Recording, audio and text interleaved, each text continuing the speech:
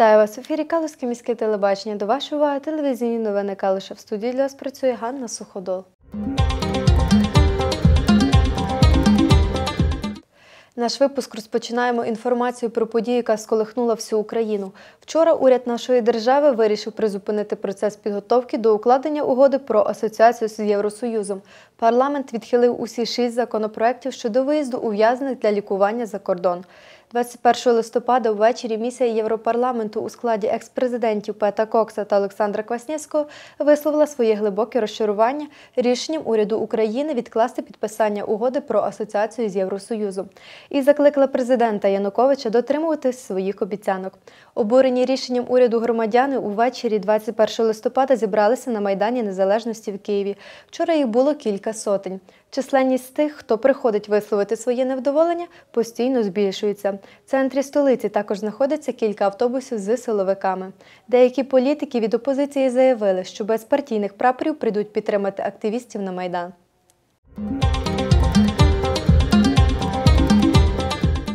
21 листопада День Святого Михаїла. Це храмове у Калуші свято щоріч було особливо урочистим, адже рівно 100 років тому день у день відбулося освячення головного греко-католицького храму нашого міста церкви святого архістратига Михаїла. 21 листопада 1913 року деканом Калузьким отцем Дмитром Рожановським в присутності п'яти тисяч людей було урочисто освячено церкву святого архістратига Михаїла. Велична мурована будівля постала з ініціативи пароха отця Володимира Петрушевича і Тимофія Пітулея за проектом Василя Нагірного, будівничого Теодора Мальничука, за благословенням митрополита Кир Андрея Шептицького. Рівно через 100 років, у день святого архістратига Михаїла, в головному греко-католицькому храмі Калуша відбулося відзначення ювілею. На святочну відправу прибув високопреосвященніший архієпископ і митрополит Івано-Франківський Кир Володимир Війтишин. Цей храм будований з благословення митрополита Андрея Шептицького. Тут освячувався наріжний камінь. Я почуваюся щасливим, що вас вітаю тут у Калуші в цьому храмі. Бо коли ви збудували у Тлумачі храм, ви мене запрошували туди на освячення. Я пригадую собі море священників і безчисленна кількість Божого люду. Передаю владу у ваші руки, бо то все належиться вам, як предстоятелю найбільшої митрополії у нашій Українській греко-католицькій церкві.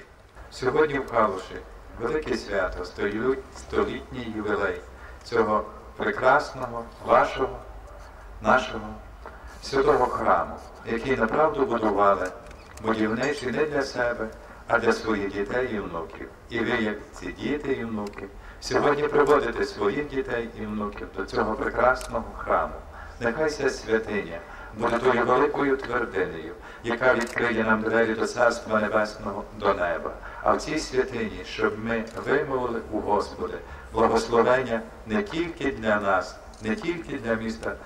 Калуша, але і для Євфрано-Франківська, а ще більше для всієї України, щоб вона була вільною, незалежною і демократичною. Нехай всемилостивий Господь вам благословить, а ми з вами воздаймо славу Господеві у цьому ювілейному сьогодні храмі. Владика очолив архієрейську службу Божу. Йому співслужили парох церкви декан Калузький, отець Мітрат Михаїл Бігун, декани Рогатинський, отець Мітрат Дмитро Бігун, Войнилівський, протоієрей отець Мирослав Ящук, протопресвітер Кримського деканату ОГКЦ, протоієрей з Ялти отець Ігор Гаврилів, а також собор священників. З нагоди ювілею відбулося нагородження осіб, які найбільше спричинилися до розбудови храму. Патріаршої грамоти удостоєний меценат Ярослав Чернюк з родиною. Грамоти від владики, міський голова Ігор Насалик, народний депутат України Ольга Сікора, родина пасічників та інші. Пам'ятними нагородами церкви відзначені отець Павло Соломко, отець Василь Бігун, наперсними хрестами з оздобами. Отець Сергій Бусил, отець Любомир Гаєцький, наперсними золотими хрестами. Свято Собор архістратига Михаїла та інших небесних сил безтілесних – архангелів Гавриїла, Рафаїла, Уриїла, Селефиїла, Єгудиїла, Варахиїла та Реміїла встановлено на початку IV століття на помісному Лаудикійському соборі. У святковому богослужінні Михайло прославляється як головнокомандувач небесними силами, який веде невпинну боротьбу із силами пітьми. Архістратига Михаїла вважають небесним покровителем Києва, а з 18 століття також і калушан. За свого оборонця на полюванні мають його мисливці. Від Михайла починається піст, який триває до Різдва.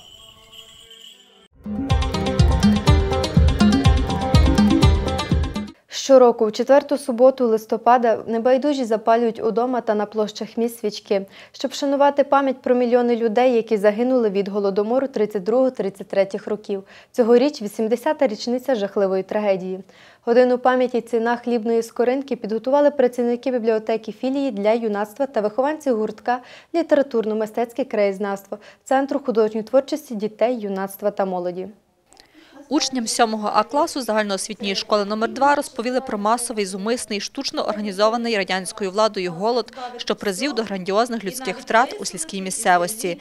Таким чином прагнули придушити український національно-визвольний рух. Ніде у світі не зафіксовано голоду, подібного до того, що випав на долю однієї з найродючіших земель, так званої житниці Європи.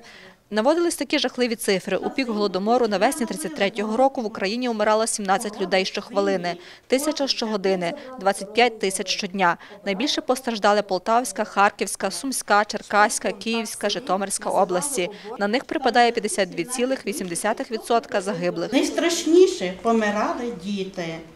У вересні 1933 року за шкільні парти не сіли дві третіх учнів. Вони не дожили до свого першого дзвоника. Саме так влада вчинила з мільйонами українців у ті далекі 30-ті роки минулого століття. Вірші про ті моторошні події зачитали члени краєзнавчого гуртка, учні загальноосвітньої школи номер 7 Тетяна Харів, Яна Струк, Богдан Клим, Назарій Солоцький та Віталій Семенчук. Присутніх схвилювали свідчення людей, які в роки голоду були дітьми, зачитані завідувачем бібліотеки філії для юнацтва Олександрою Сокульською та бібліотекарем абонементу Наталією Савчак. Під звуки метронома пом'янули душі померлих від голоду хвилиною мовчання. Цей замовчуваний злочин показав, що можна на десятиліття засекретити архіви, приховати в глибинах спецсховища окривальні документи, замести сліди, переписувати історію на догоду диктаторів чи ідеології, і лише пам'ять народу зберігатиме правду. Завершилася година пам'яті аудіозаписом пісні Тараса Петрененка Господи, помилуй нас.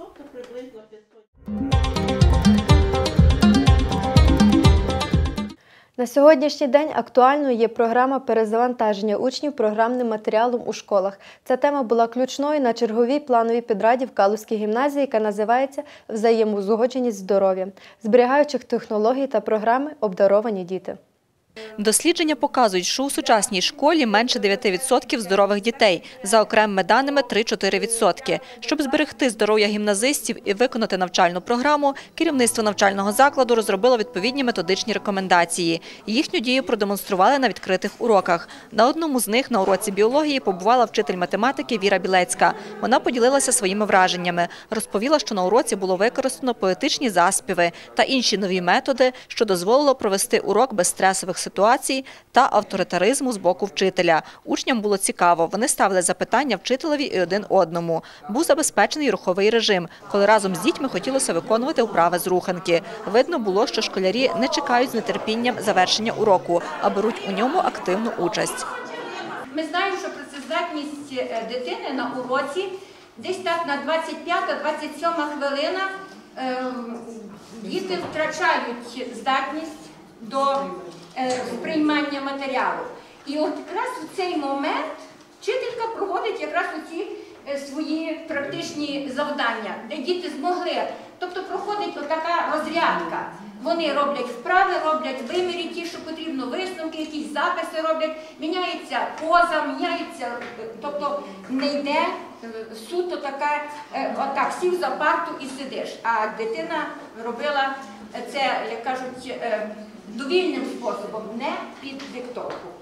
Заступник директора Ольга Дороніна розповіла, що спричиняє стрес і погіршує здоров'я учнів. Погіршення здоров'я учнів викликає стресово-педагогічна тактика, інтенсифікація навчального процесу, невідповідність методик і технологій навчання віковим і функціональним можливостям учня, нераціональна організація навчальної діяльності, низька функціональна грамотність е, педагогів і батьків із питань збереження та зміцнення здоров'я. Ольга Дороніна пояснила, що існують протиріччя між соціальною програмою освіти і біологічним розвитком, рівнем і якістю здоров'я учнів. Це показала низка досліджень. Тому існує необхідність зберегти здоров'я, безпеку і гідність кожного учня. Кожен має відчувати власну значущість. Аналізуючи здоров'я учнів гімназії, виявилося, що повністю здорових немає. За останні чотири роки встановлено найбільше порушень функції зору, ортопедичних проблем та ендокринної системи. Звісно, для роботи з обдарованими дітьми існує власна методика. Витрата часу на домашні завдання не повинна перевищувати у 7-9 класах 3 години,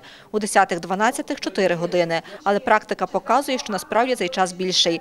Не рекомендують давати домашні завдання на канікули, вихідні та святкові дні. Необхідна співпраця вчителів і батьків, щоб останні допомагали і контролювали виконання домашніх завдань. Проведення опитування психологом показало, що перевантаження домашніми завданнями існує навіть у молодших класах. Тому педагогічний колектив гімназії впроваджує методики, щоб якомога більше знизити навантаження дітей, яке шкодить здоров'ю.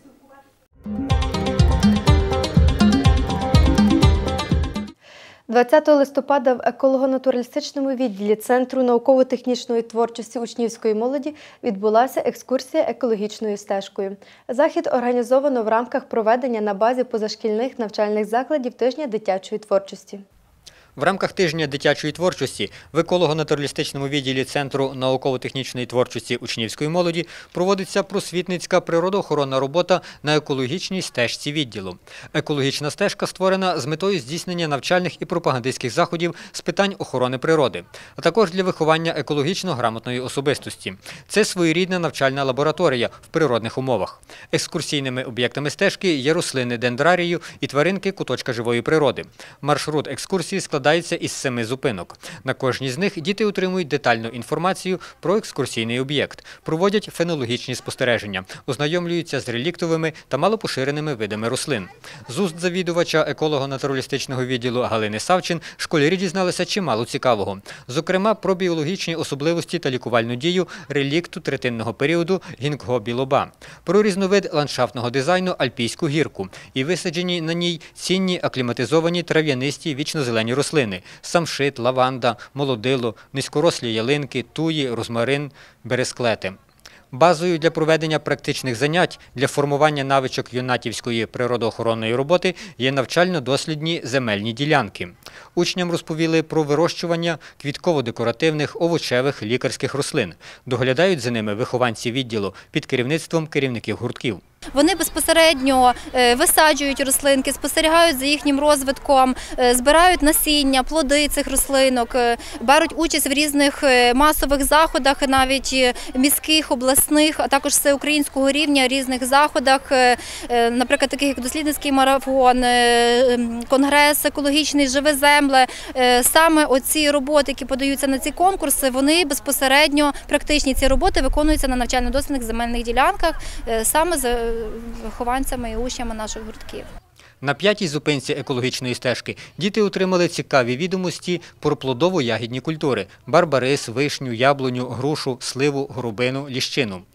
Молоді саджанці цих дерев цьогоріч висадили гуртківці під час проведення трудової акції «Юнатівський зеленбуд». Сад е, молодий, який висаджений, е, він е, висаджений завдяки і вихованцям, учням нашого відділу. Вони також брали безпосередню участь в висаджуванні плодово-ягідних культур, які вони також навіть приносили із дому, деякі сливи, вишні, наприклад, саджанці, сливи, вишень. Далі учні дізналися про представників родини Соснових і, зокрема, про цінне кедрове дерево. Останньою зупинкою маршруту є куточок живої природи. Лише позитивні емоції утримують вихованці від спілкування з його мешканцями, спостереження і догляд за папугами, хом'ячками, морськими свинками, черепахами, декоративними кроликами розвиває у дітей почуття відповідальності за життя та утримання улюбленців. Після екскурсії учні побували на виставці робіт гуртківців еколого-натуралістичного відділу.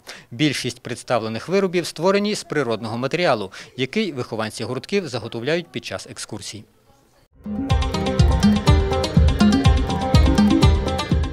19 листопада в загальноосвітній школі перших-третіх ступенів номер 5 міста Калуша кафедра спортивно-педагогічних дисциплін факультету фізичного виховання і спорту Прикарпатського національного університету імені Василя Стефаника в рамках профорієнтаційної роботи організувала семінар Олімпійські надії. Мета візиту співпраця та сприяння при вступі учнів школи у вище згаданий заклад. Уже стало традицією проводити такі семінари на базі Калузької школи номер 5 У семінарі взяли участь викладачі факультету фізичного виховання і спорту Прикарпатського національного університету імені Василя Стефаника, вчителі міста Калуша та Калузького району разом із школярами та випускниками. Розпочав семінар вчитель фізичного виховання п'ятої школи Михайло Коцан.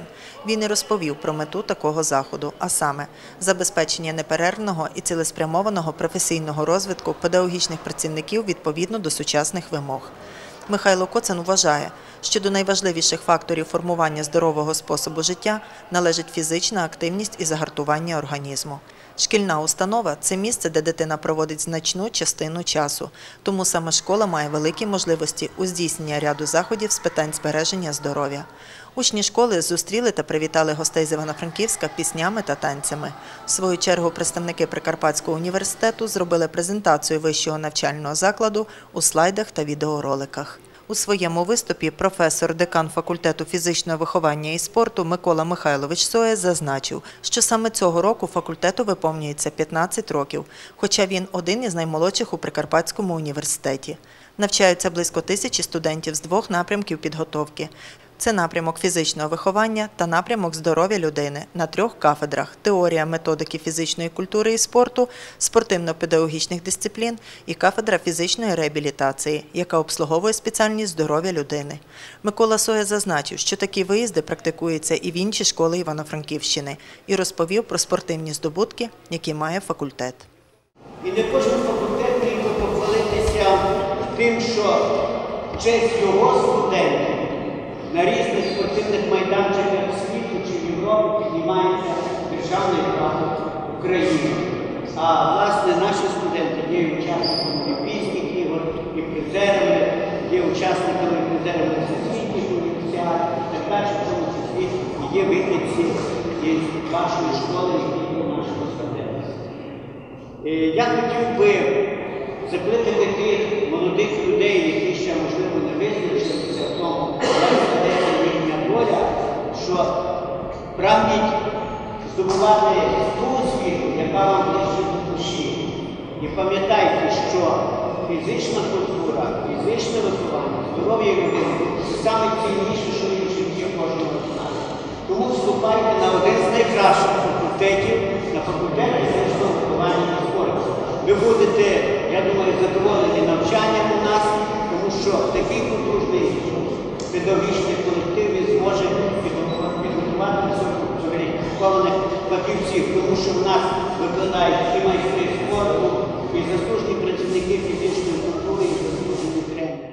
Серед гостей семінару був присутній Ігор Андріїв, колишній студент Прикарпатського університету, а зараз завідувач Калузького навчального консультаційного центру Прикарпатського університету, і професор, арбітр ФІФА Ступар Мирослав Іванович. Він привітав учнів школи і зазначив, що іноді необхідно жертвувати своїми інтересами заради здоров'я і спорту. Це непростий час, коли пандемія давить на молодь. Вона має безліч е, інтересів, які не спричиняють до здорового способу життя. І, власне, через призму фізичної культури і спорту ми стараємося залучити молодь до того, щоб продовжити розбудовувати Україну, продовжувати зміцнювати Україну і не тільки в області спорту, а і в економіці, в соціальному е, побудові. І це радує, що вчителі школи, е, вчителі центру, е, ми це розуміємо і стараємося залучити молодь, щоб вона проходила через фізичну культуру і спорт, тому що фізична культура і спорт, вони ніби поєднані, але одна справа фізична культура, там де є здоров'я, а інша справа спорт, де необхідно часом пожертвувати своїм здоров'ям, своїм. Професор, завідувач кафедри спортивно-педагогічних дисциплін Ярослав Яців привітав всіх учасників семінару і подарував футболку вчителю фізкультури Михайлу Коцану, який був ініціатором попереднього приїзду делегації факультету фізичного виховання і спорту. Та подарував м'яч директору школи Ірині Люклян, яка в свою чергу подякувала за співпрацю і вручила, попередньо зазначивши, справжню булаву справжнім козакам. Я не буду довго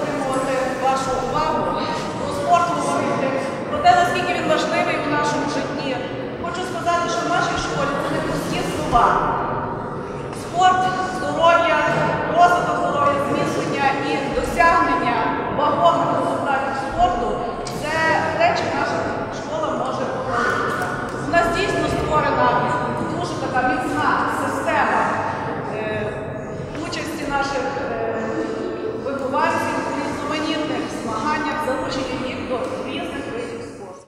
Омелян Куцук подарував всім гостям семінару книжку Богдана Тимківа під назвою Штурмани лісових трас про випускника п'ятої школи, майстра спорту, учасника багатьох не тільки всеукраїнських, а й міжнародних змагань, призера чемпіонату світу серед студентів, призера чемпіонату світу серед дорослих Романа Слободянюка, випускника Прикарпатського університету. Також цього дня проведено майстер-клас футболу з учнями, футбольний турнір з футзалу серед школярів міста Калуша, району та викладацького складу факультету. Такі семінари сприяють удосконаленню фізкультурно-оздоровчої та спортивно-масової роботи в навчальних закладах.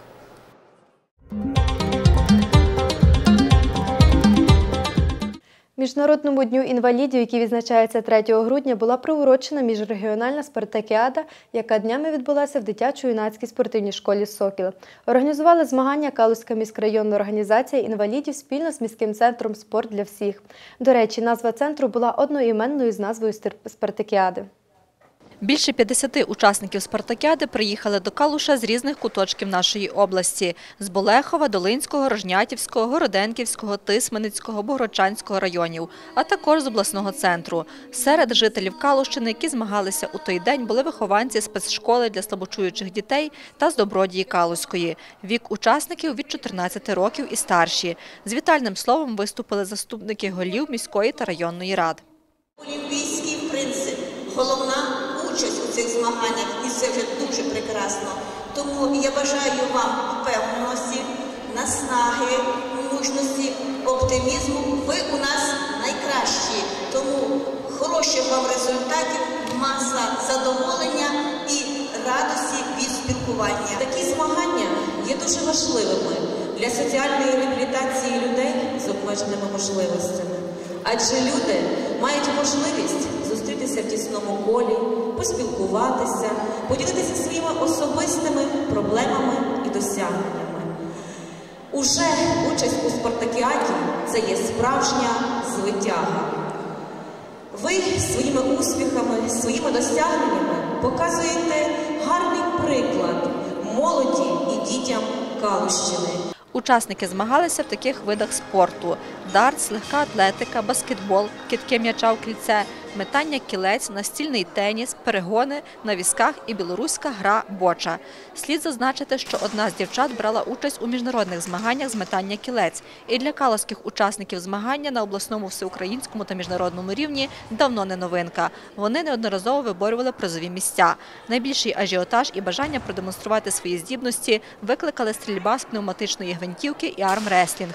Оскільки в людей, які пересуваються на візках, дуже сильні руки, то боротьба була напруженою, а дівчата змагалися на рівні з хлопцями. Суддями були працівники управління у справах сім'ї, молоді, фізкультури і спорту міської ради. Спецшкола для слабочуючих дітей надала для змагань вчителя, який спілкувався мовою жестів. Отже, перемогла команда Калушан. Їм поступилася Івано-Франківська громадська організація Сила духу. Третє місце посіли гості з Тисмениці. Переможці та призери були нагороджені грамотами, медалями та кубками. Учасники отримали багато позитивних емоцій і були раді можливості поспілкуватися. Голова Калузької міськрайонної організації інвалідів Олена Білоус висловила вдячність усім підприємцям, які відгукнулися і посприяли у проведенні заходу.